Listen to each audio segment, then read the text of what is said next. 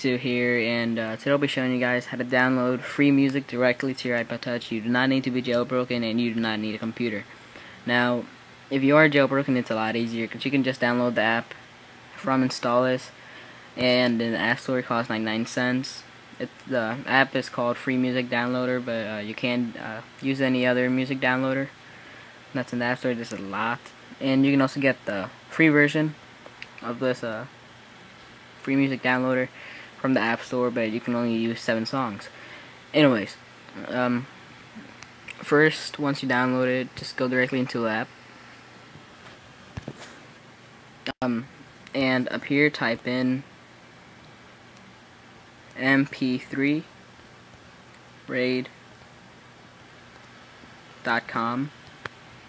and it should send you to the site and it should have the uh, top 25 in the United States. And uh, let's just do, uh, let's find a good, uh, a good uh, singer or whatever. Uh,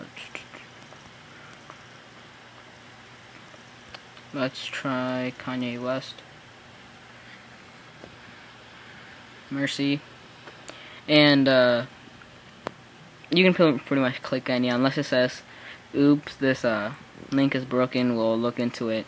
Just go back and try another one. Just don't try the same one or it won't work. Alright um you can just try out uh, uh, see if it's the right song but just play uh, pressing the play button right here. I would not do it for copyright reasons but uh, anyways uh, once you find your song, just press download and press download. And it should appear in the download section right here. It should take uh, less than 20 seconds. And once it's downloaded it should be in the files in the file section.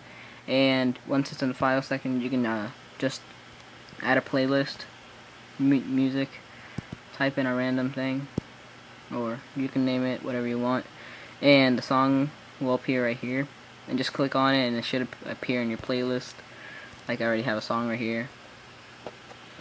And uh, that's about it. Uh, thanks for watching. I'm gonna say the exact same thing uh, that I usually do, uh, uh, do at the very end of my videos. Comment like subscribe if you guys uh, haven't subscribed to me yet or this is the first video you've seen that I've made. Just look about an inch on top of the video. Look to the left right by my YouTube name click subscribe or you could just go and check out my channel and uh, look at my other videos and if you like those videos subscribe. Pretty sure you're just gonna end up subscribing anyways. Um, and that's about it. Uh, thanks for watching